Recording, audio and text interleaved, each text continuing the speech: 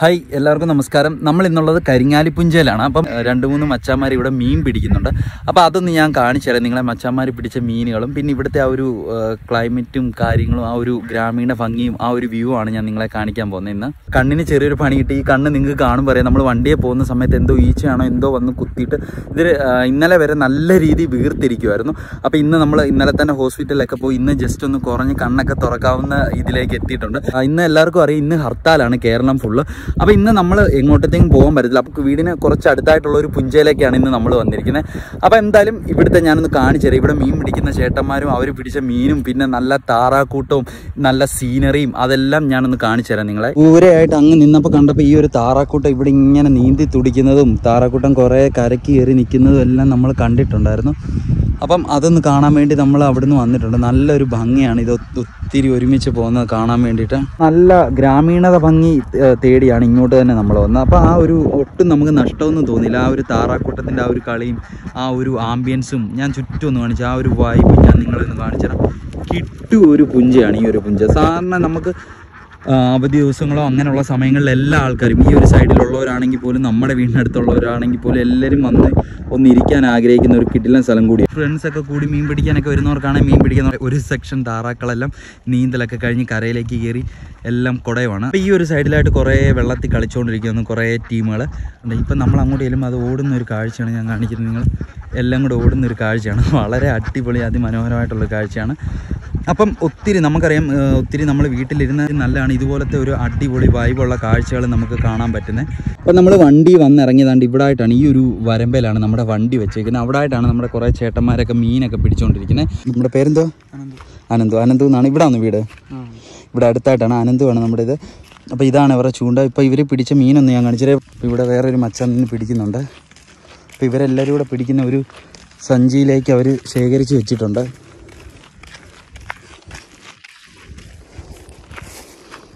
ഇതാണ് മച്ചാൻ പിടിച്ച മീൻ.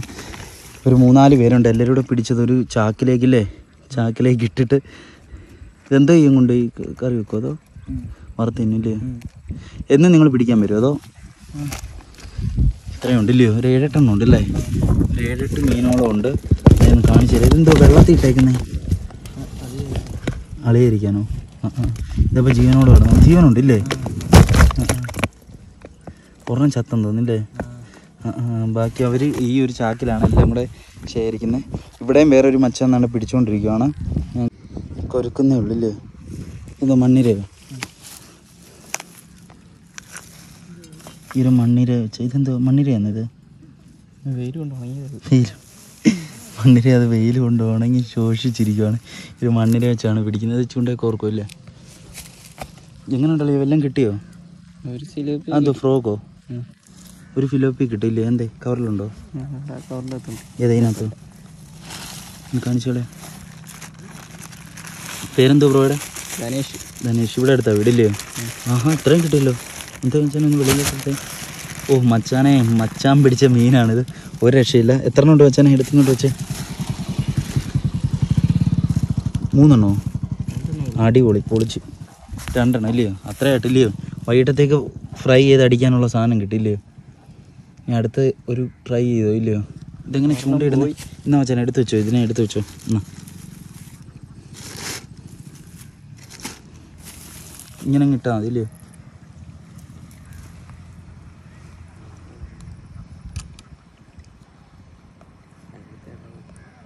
ഫ്രോഗ് ഇടത്തില്ലയോ? ഇല്ല ഇത് സിലോപ്പി പിടിക്കാൻ വേണ്ടി.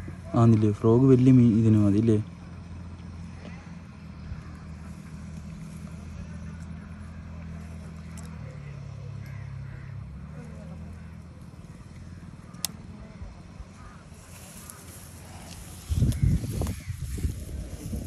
മീൻ പിടിക്കാനായിട്ട് തന്നെ നമുക്കധികം മിണ്ടാൻ പറ്റത്തില്ല. കാരണം ആ ഒരു സൗണ്ട് കേട്ട് കഴിഞ്ഞാൽ മീൻ വന്ന് കൊത്തത്തില്ല. ഇതെന്ത് ചെയ്യും മച്ചാനെ? പൊങ്ങിടാൻ ഇല്ലേ? പൊങ്ങെന്ന് പറയുമ്പോൾ നമ്മുടെ ഈ ചൂണ്ട ഒരു ലെവലിൽ താഴെ പോകുമായിരിക്കും അല്ലേ? അതാകുമ്പോൾ ആ ഒരു ഇത് നിൽക്കും അല്ലേ? ഓക്കെ ഇത് സംഭവം എന്ന് വെച്ച് കഴിഞ്ഞാൽ മച്ചാൻ പൊങ്ങിടുവാണ്.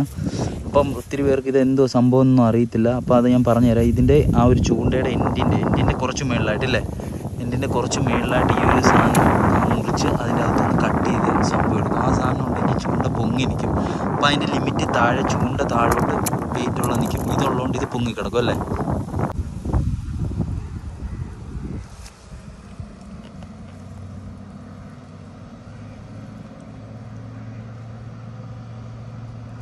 അടുത്ത വരെ കയറ്റിയിട്ടുണ്ട്.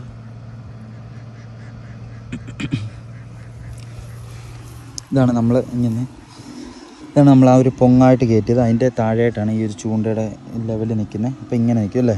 ഇങ്ങനെ ഇടുന്ന സമയത്ത് ഈ സാധനം പൊങ്ങി കിടക്കും വെള്ളത്തിലേക്ക്. അപ്പോൾ ഒരു ഡിസ്റ്റൻസ് ഇട്ടിട്ടാണ് താഴെയായിട്ടാണ് ചൂണ്ട ഇടുന്നത് അപ്പോൾ എന്തായാലും നമുക്ക് നോക്കാം. എന്താണെന്ന് വെച്ചാൽ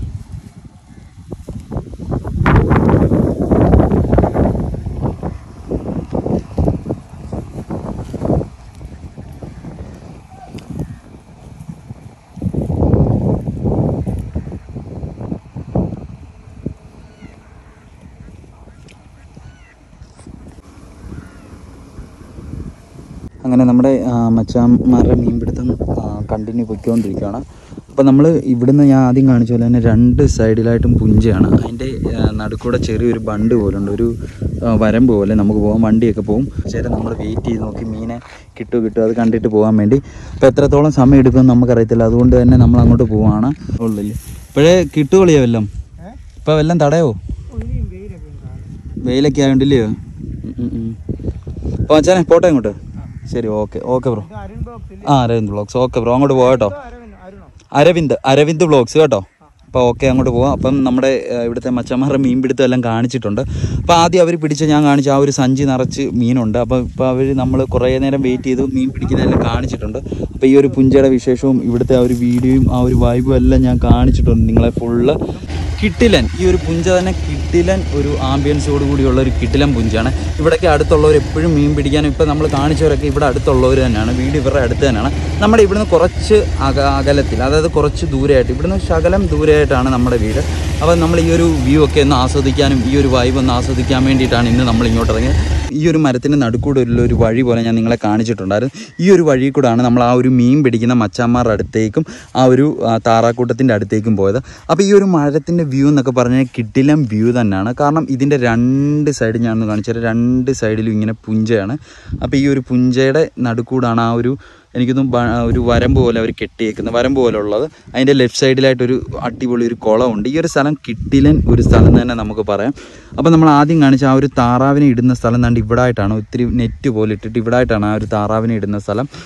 അപ്പം ഇന്നത്തെ ഈ ഒരു വീഡിയോ ഒരു കിട്ടിലൻ നൈസ് ഒരു സ്ഥലം ഞാൻ നിങ്ങളെ പരിചയപ്പെടുത്തി. കാരണം നമ്മുടെ ഈ ഏരിയയിലുള്ളവർക്കറിയാം കുറച്ച് ഇതിന്റെ അപ്പുറത്തെ സൈഡൊന്നും ഉള്ളവർക്ക് ഈ ഒരു സ്ഥലം അറിയണമെന്നില്ല. അപ്പോൾ എല്ലാവരും ഫോട്ടോഷൂട്ടും അതുപോലുള്ള സ്ഥലങ്ങൾ തേടി നടക്കണം അങ്ങനെയുള്ളവർക്കൊരു പറ്റിയ ഒരു കിടിലൻ സ്ഥലം കൂടിയാണ് ഈ ഒരു സ്ഥലം. എന്തായാലും നമുക്ക് മറ്റൊരു കിടിലൻ വീഡിയോമായി വരുന്നിടം വരെ ഗുഡ് ബൈ